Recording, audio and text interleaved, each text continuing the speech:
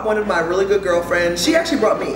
Um, she invited me, her birthday's coming up, and so she wanted to kind of use this to kick her off. So that's how we, we got here, so. So far, I learned a lot so far. You know what I'm saying? You know, show a little time of where we at right now. You know, I was never really been a cooking type, you know what I'm saying? But I'm having fun. Everything's very interesting. Learning a lot.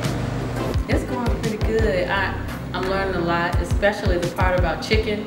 Because before I was always uncomfortable. I would just take the chicken and shove it in the oven. But now I'm learning that you can, you know, cut it and do different things with it. I can't wait to see what we're gonna do and how we're gonna approach it. But um, like doing simple things like the rice, like I'll buy a box of Rice-A-Roni, put it in there. But you can do it with some natural ingredients, some give it some flavor, some onions and rosemary, then the rice. And I'm like, this is like this box of rice, dollar box of Rice-A-Roni, but this is a lot healthier. Not all the sodium from the packet you put in there. So I'm learning a lot. So far, I love the cooking class. Um, I've already learned a lot.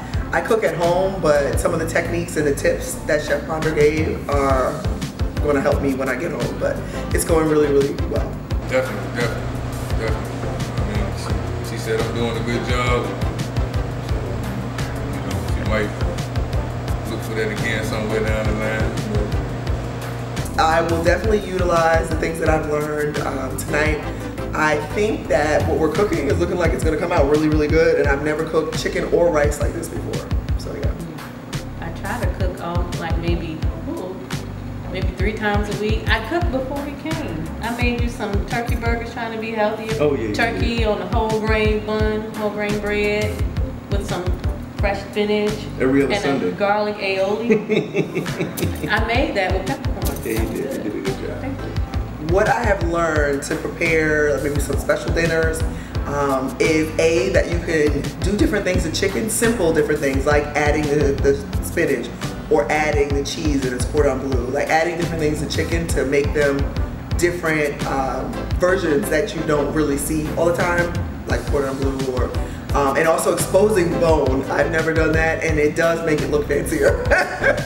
I like that. So yeah, you can definitely use that. I think also the rice technique of being able to saute the rice and put it in the oven so then you can go do, get some other preparations going for your fancy dinner. it's nice. Um, maybe once a week. Yep, I cook once a week. I'm gonna say he's definitely an A plus because he is explaining the tips or explaining the techniques, I should say, giving tips, and then there's some historical in there. I'm learning some techniques that I can use at home as far as prep, uh, prepping the, the chicken, um, how to prepare the rice, the types of herbs, the seasonings to use, and an alternate way to cook healthy. I am not familiar with French cuisine at all. I like food, but I haven't ventured too much into French outside of like, you know, that kind of French, if you consider it the same. So this is definitely completely new to me. She is. Mm. I think you are. Mm-hmm. I like I like when you well you grill. That's good cooking. I like when you get on the grill, do the, put things on the grill. It's a lot healthier. I've come a long way because you know we used to fry things. So She's a cuter cook, put it that way. cute.